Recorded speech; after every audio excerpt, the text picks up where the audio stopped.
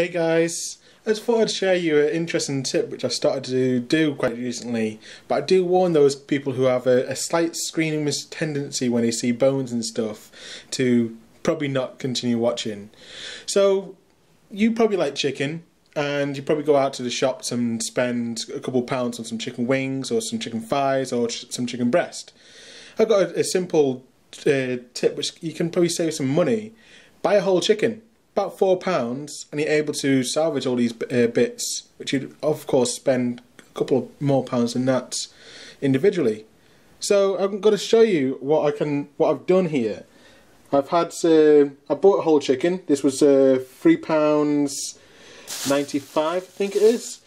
Um, and what I've done is I've taken all of the usable meat off. There's probably still a little bit there.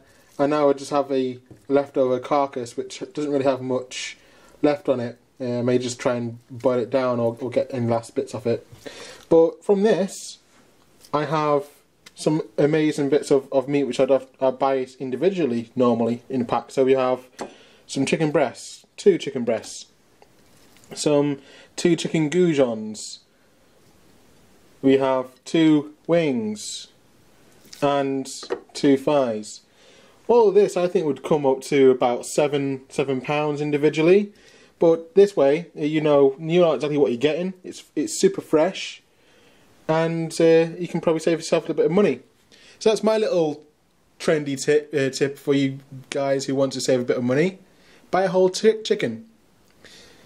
I hope you uh, you find this very useful and uh, didn't find it too disgusting. Until next time, bye.